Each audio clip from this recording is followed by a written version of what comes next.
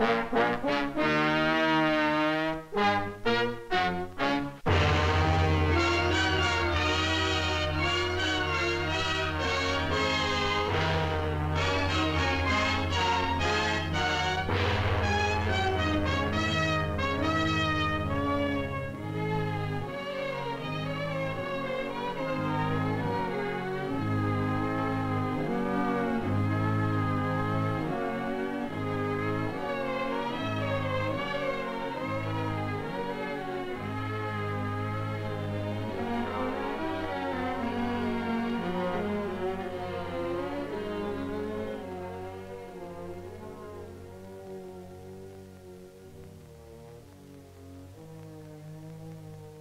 Thousands of years before Columbus reached the New World, a migration of Asiatic nomads moved eastward across the great ice bridge that joined the continents.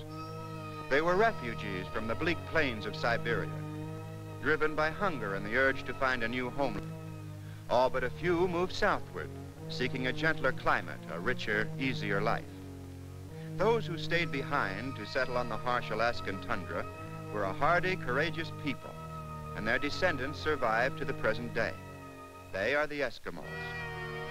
Year after year, they fight the elements for the simple necessities of existence. But of all the primitive Americans, they alone have never felt the yoke of conquest. And though they're poor in worldly goods, still strangely enough, they've found riches beyond compare. Their treasure is a way of life. But it's a life that we would find rough and rugged indeed a never-ending struggle against the hardships of the Arctic cold. Yet spring does come, and for a few short months, the Eskimo village is free from winter's grip.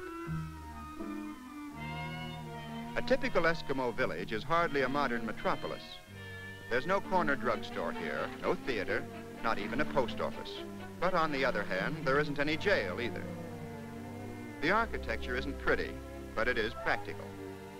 Since this is a treeless land, building materials consist entirely of sod and driftwood. And so villages are usually found along the coast, close to nature's lumberyard. When an Eskimo builds a house, he also buries it. For he must anchor his timbers deep in the earth to keep it from blowing away with the first gale of winter. And he doesn't have to buy his lot. He builds where he pleases.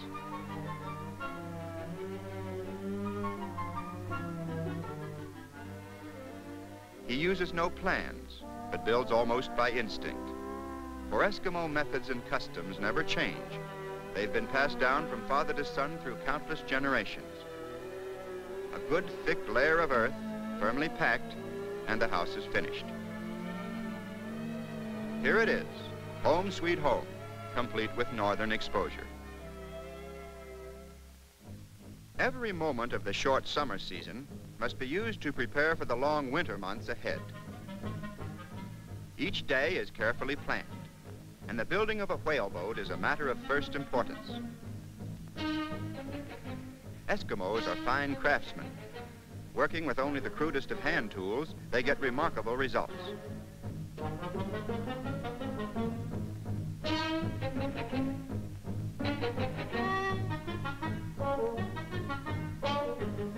Walrus hides, carefully stitched together, are used to make the outer covering. This is a job for the women, from young girls to grandmothers. These seams must be absolutely waterproof. The lives of their men will depend on it.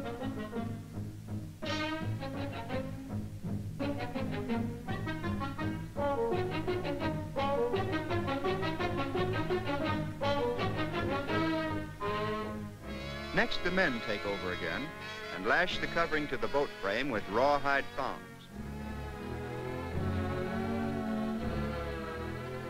Only a few finishing touches now, and the boat will be ready for launching.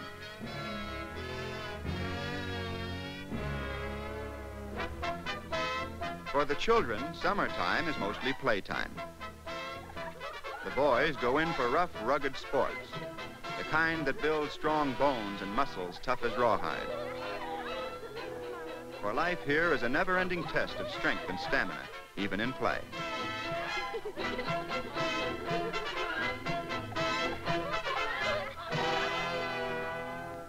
The games of the girls are more restrained.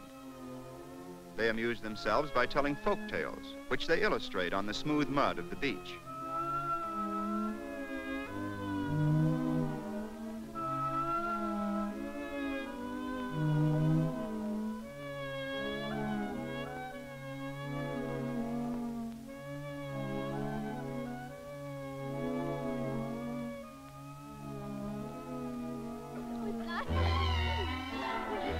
Finest sport of all is blanket toss. It's enjoyed by boys and girls alike.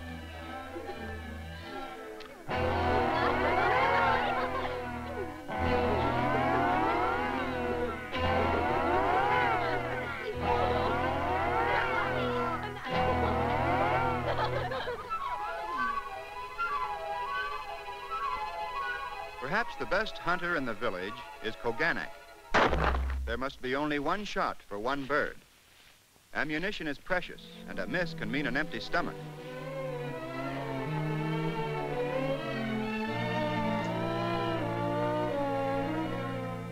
His young son, Makaluk, is learning in the school of experience.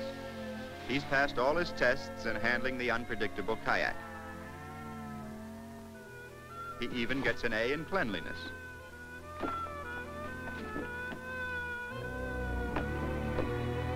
As his schooling progresses, he learns the use of weapons, both ancient and modern.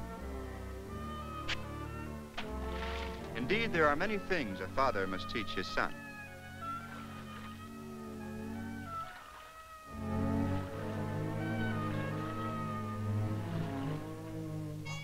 Koganak has many mouths to feed. Besides his wife, Ananak, and his infant son, Moan, he has a daughter of marriageable age named Pelea, as well as three younger girls, Napatia, Chikoyak, and Niala.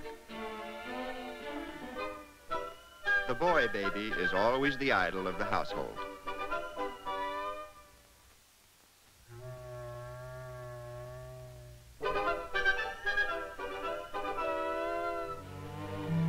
Sometimes the gathering of winter stores has all the excitement of a treasure hunt.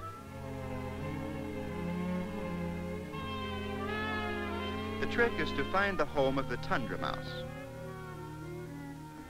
He's not the object of the search, but his storehouse is full of tasty nuts and berries.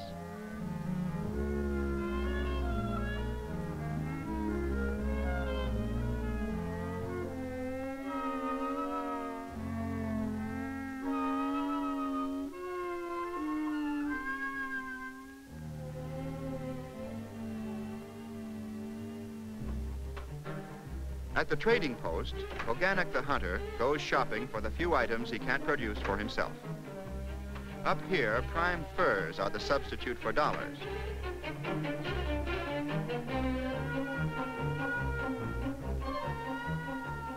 And when it comes to making change, poker chips take the place of coin.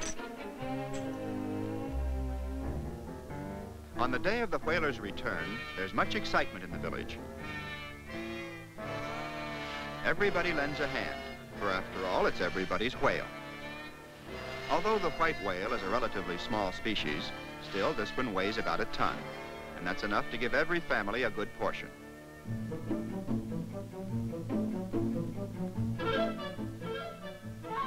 And now for the treat, a nice, tasty chunk of whale skin. It's the Eskimos' chewing candy. They call it muktuk. And it has a taste like beech nuts, uh, they say.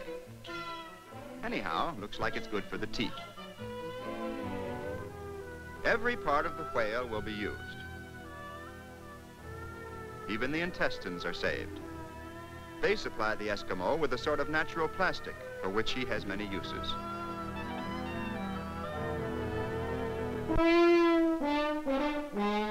All through the village, winter stores are piling up. But summer is nearly over now as the last catch of the season goes to the drying racks.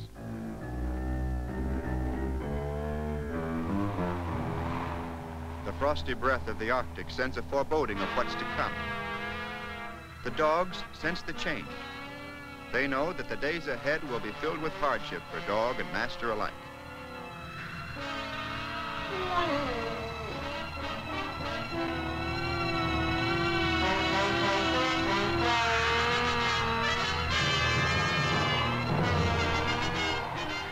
The blizzard sweeps down from the north, only the dogs are left outside to face the bitter blast. This is no thoughtless cruelty. The Eskimo can't afford to pamper his dogs, and exposure to the elements keeps them healthy and fit.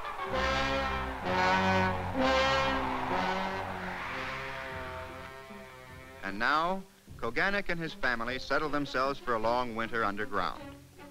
There'll be few idle hours. Still, there's always time to relax with a good book.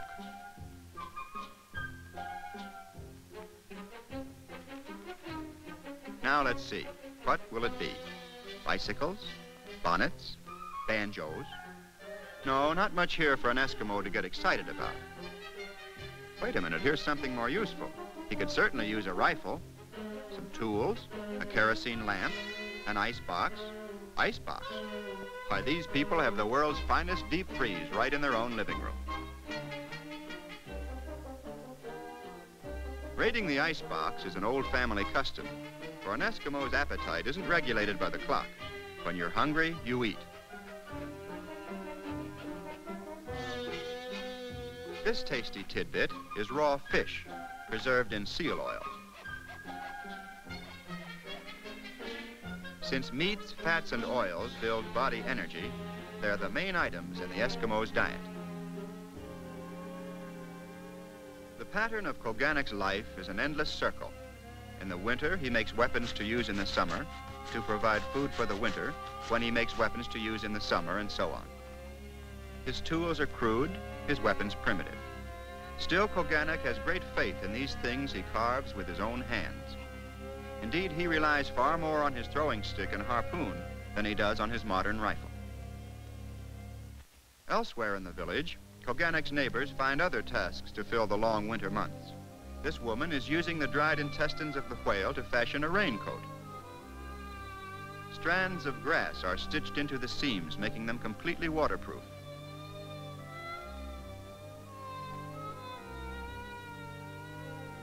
Men in the village are masters of all trades. Broken dishes are no problem here, for a bowl carved from driftwood is almost bound to wear well.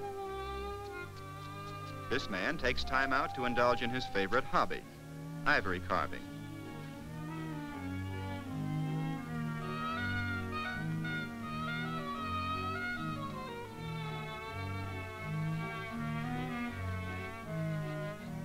Koganik, too, has many tasks. Sealskin must be prepared to make mukluks, the Eskimos' footwear. Seams are first marked with the teeth.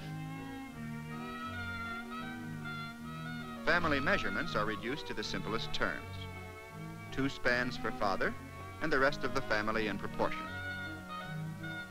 Trimming the soles offers an added attraction to the youngsters. The scraps make first-class chewing.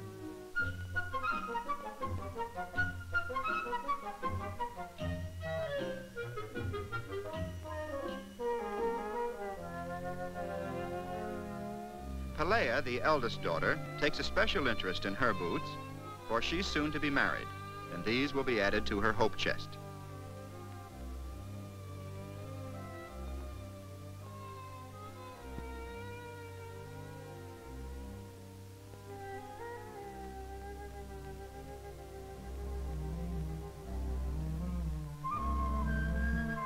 When it's bedtime for baby, it's bedtime for the whole family.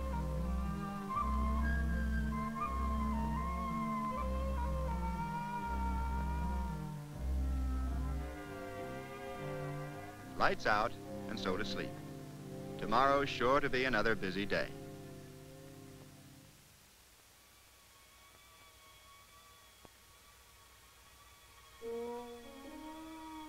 Something always hoped for but seldom received is a break in the weather.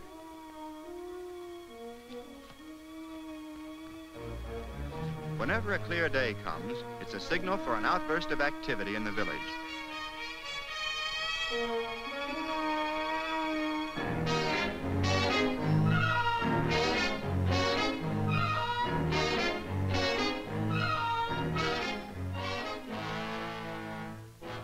Telling how long this break will last. What's to be done must be done quickly. Food supplies must be replenished. Drinking water is low. Wood boxes are empty. And so the dog teams are made ready as the different work parties prepare to carry out their appointed tasks.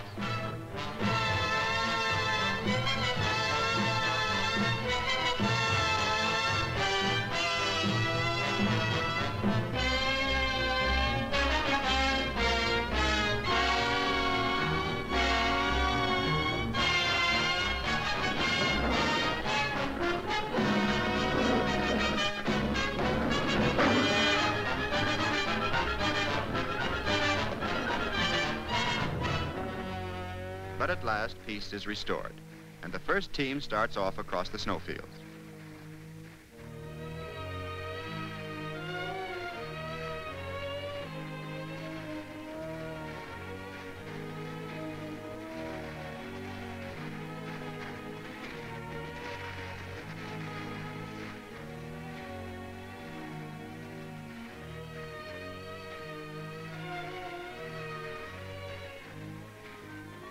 The beach party searching for fuel finds driftwood not only along the beach, but also some distance offshore, where the pressure of the pack ice has forced it to the surface.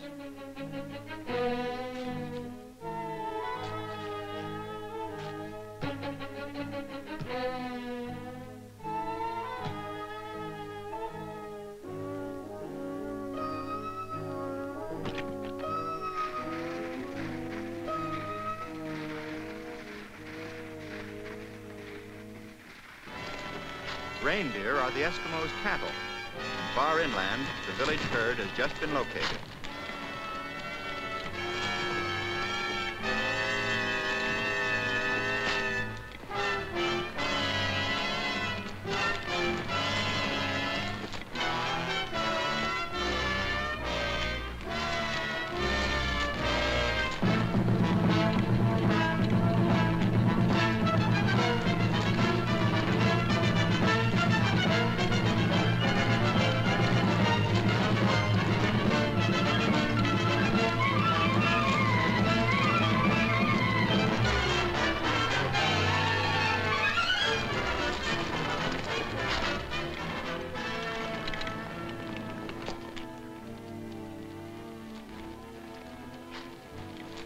After a steady diet of raw fish and seal blubber, fresh reindeer steaks will be most welcome.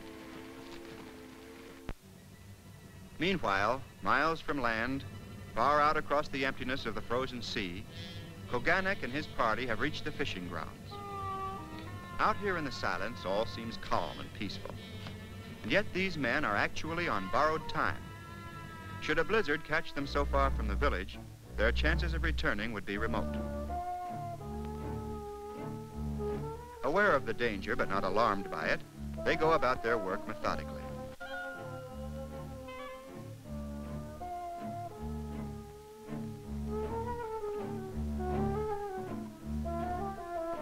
These are needlefish, a great delicacy. They're eaten as is, spines and all.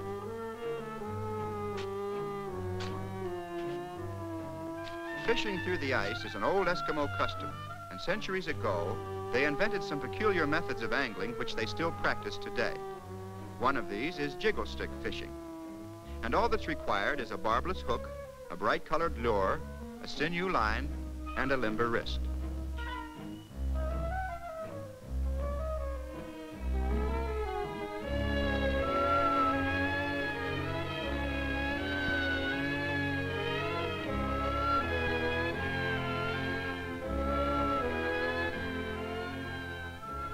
Fishing expeditions like this, the puppies always tag along. Actually, it's part of their training for the hardships of the trail. But to the pups, it's better than a picnic. After all, there's no telling what a fellow might pick up if he's on his toes.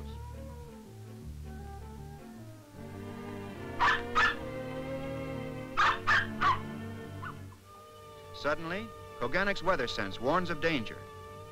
Through his homemade eye shades, he scans the horizon. The storm is not far away and closing in fast. They may have waited too long.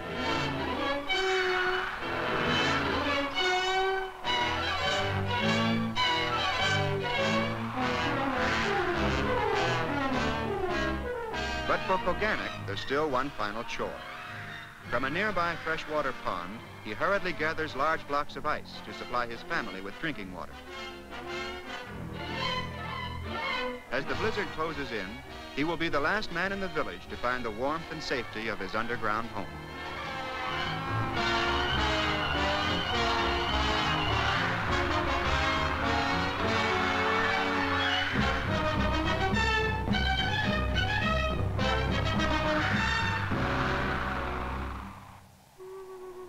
Koganuk's safe return is a festive occasion, and so tonight his family will celebrate over a delicious bowl of blueberry ice cream. This rare old recipe is well worth remembering.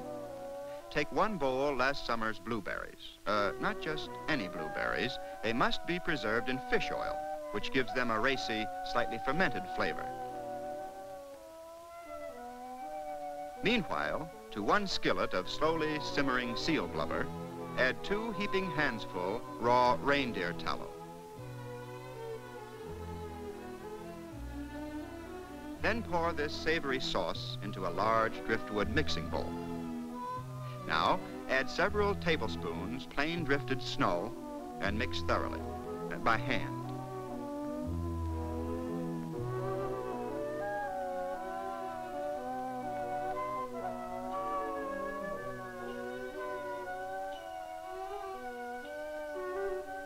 After all the ingredients are thoroughly blended, add the blueberries and fold in gently.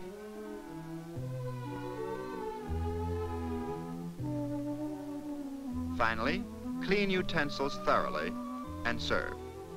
This mess, uh, mixture is called akutak, the blueberry ice cream with the fish flavor.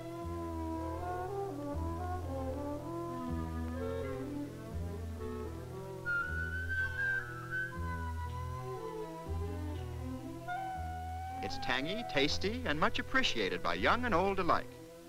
But only if you're an Eskimo.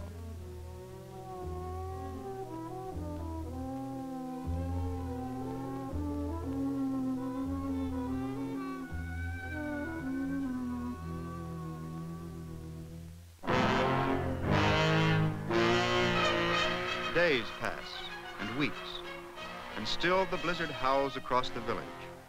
Such is the Arctic winter. The Eskimos call it Ukiruk Tiluk, the time of waiting.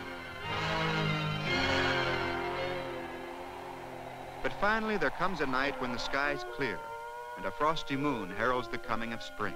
For on this night an elaborate ceremony will take place. Of course, everyone will attend, even the baby.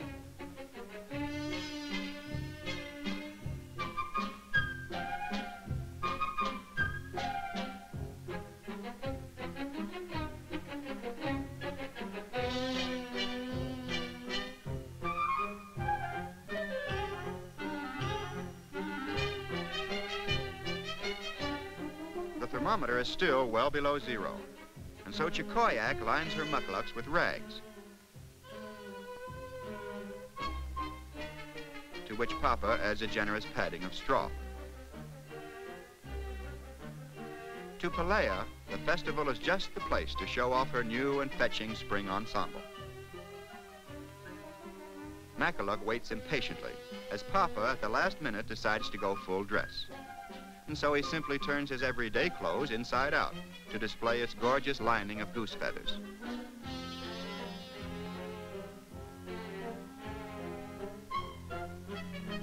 On this night, a current of excitement runs through the village. The sound of drums is heard, and a muffled chanting of many voices. From all directions, the villagers make their way toward the community meeting house.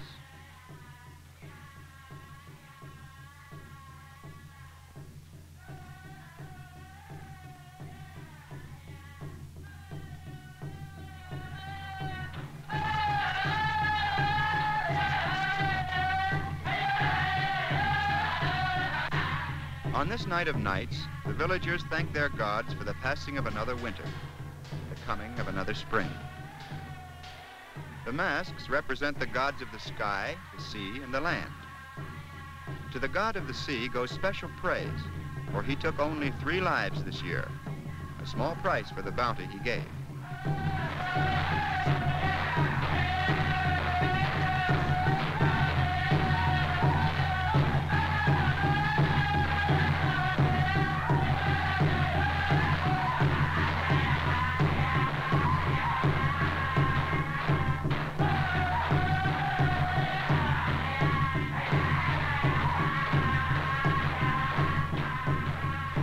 Have no written history.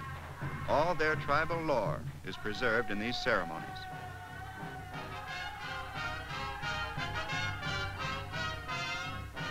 By mid-evening, however, all the gods have received their due, and now the fun begins. The tempo quickens, and the performers exchange their solemn masks for the grinning faces of comedy. Actually, these are caricatures of the villagers themselves, and the dancers spare no one in a round of good-natured ridicule.